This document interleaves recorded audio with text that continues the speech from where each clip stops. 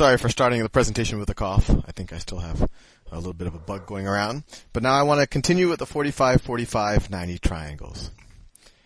So in the last presentation, we learned that uh, either side of a 45, 45, 90 triangle that isn't the hypotenuse is equal to the square root of 2 over 2 times the hypotenuse.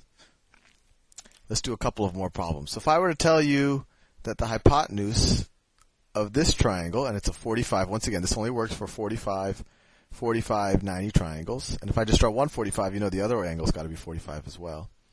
If I told you that the hypotenuse here is, let me say 10, right, and we know this is the hypotenuse because it's opposite the right angle. And then I would ask you what this side is, x. Well, we know that x is equal to square root of 2 over 2 times the hypotenuse. So that's square root of 2 over 2 times 10.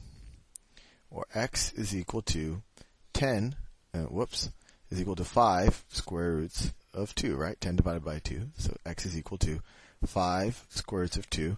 And we know that this side and this side are equal, right? I guess we know it's an isosceles triangle because these two angles are the same. So we also know that this side is 5 over root 2. And if you're not sure, try it out. Let's try the Pythagorean theorem. We know from the Pythagorean theorem that 5 root 2 squared plus 5 root 2 squared is equal to the hypotenuse squared, where the hypotenuse is 10. It's equal to 100. Well, this is just 25 times 2, so that's 50. Plus 25 times 2 is 50. This is 100 up here. Is equal to 100. And we know, of course, that this is true. So it worked. We proved it using the Pythagorean theorem, and that's how actually we came up with this formula in the first place. Maybe you want to go back to one of those presentations if you forget how we came up with this. I'm actually now going to introduce another type of triangle, and I'm going to do it the same way by um, just posing a problem to you and then um, using uh, the Pythagorean theorem to figure it out. This is another type of triangle called a 30, 60, 90 triangle. 30, 60, 90 triangle. And if I don't have time for this, I will do another presentation. Let's say I have a right triangle. That's not a pretty one, but we'll use what we have. That's a right angle. And if I were to tell you, tell you that this is a 30 degree angle. Well, we know that the angles in a triangle have to add up to 180. So if this is 30, this is 90, and let's say that this is x. x plus 30 plus 90 is equal to 180 because the angles in a triangle add up to 180. We know that x is equal to 60, right? So this angle is 60. And this is why it's called a 30, 60, 90 triangle.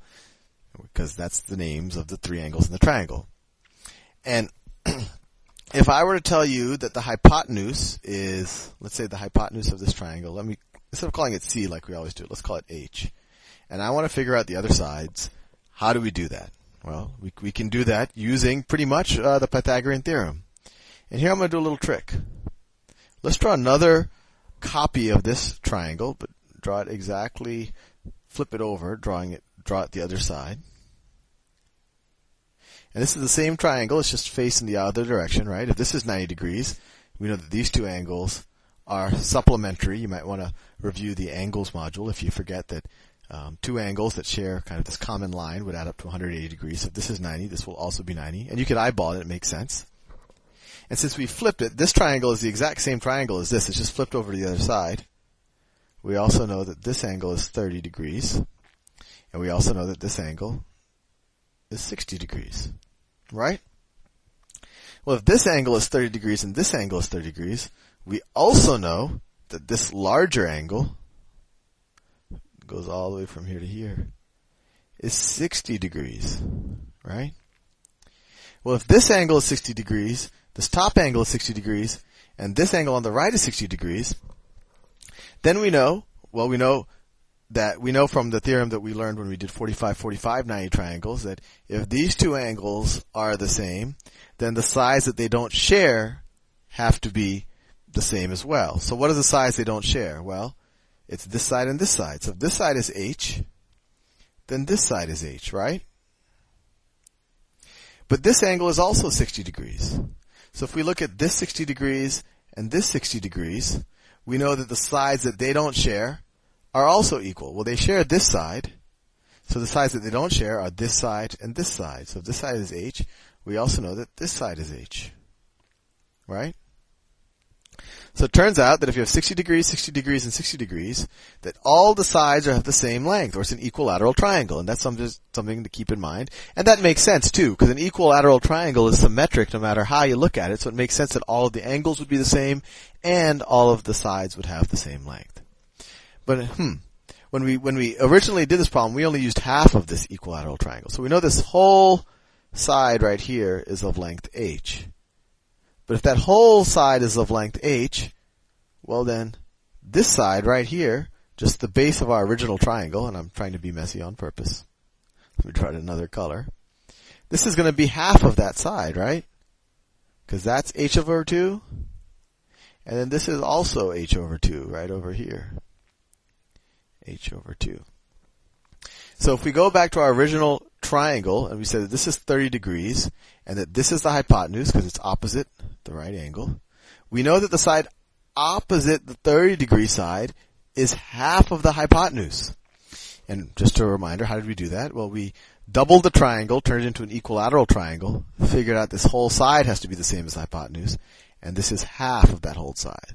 So it's half of the hypotenuse. So let's remember that. The side opposite the 30 degree side is half of the hypotenuse.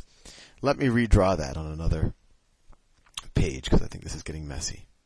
So going back to what I had originally.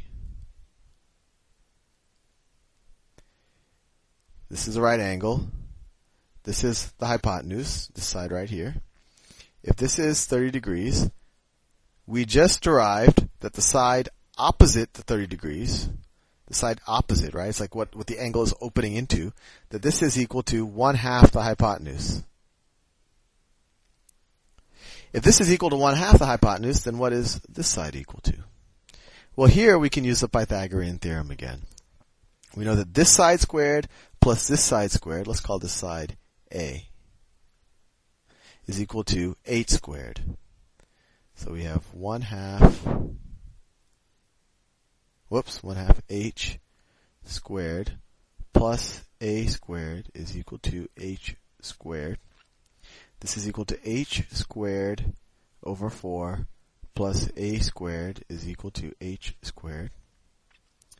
Well, we subtract h squared from both sides. We get a squared is equal to h squared minus h squared over 4. So this equals h squared times 1 minus 1 fourth. This is equal to 3 fourths h squared. Excuse the cough. And once again, that's equal to a squared. I'm running out of space, so I'm going to go all the way over here. So take the square root of both sides, and we get a is equal to the square root of 3 fourths is the same thing as the square root of 3 over 2.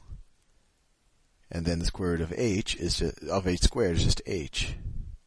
And this a, remember this is an area, this is what we decided the length of the side. I probably shouldn't have used a. But this is equal to the square root of 3 over 2 times h. So we, there, we've derived what all the sides relative to the hypotenuse are of a 30, 60, 90 triangle. So this is a 60 degree side. So if we know the hypotenuse, and we know this is a 30, 60, 90 triangle, we know the side opposite the 30 degree side is one half the hypotenuse, and we know the side opposite the 60 degree side is a square root of 3 over 2 times the hypotenuse. In the next module, I'll show you how using this information, which you may or may not want to memorize. It's probably good to memorize and practice with because it'll make you very fast on standardized tests. Um, how we can use this information to, to solve the sides of a 30, 60, 90 triangle uh, very quickly. See you in the next presentation.